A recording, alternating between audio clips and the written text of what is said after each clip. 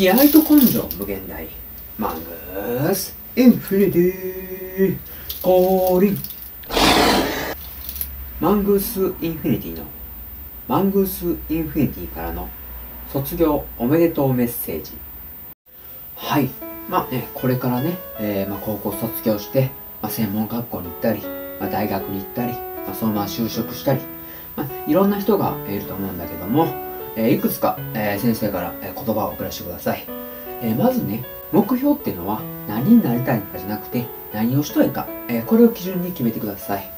何をしたいかっていうのを基準に決めておくと困難にぶち当たったりだとかあとはですね、え迷ったりしたとか、え必ずね道が開けてくるんで、ま先生の言葉をね、え頭の片隅に残しておいてまた活用してくれると嬉しいな。じゃあ最後にもう一つだけ、え言葉を送らせてください。グッ。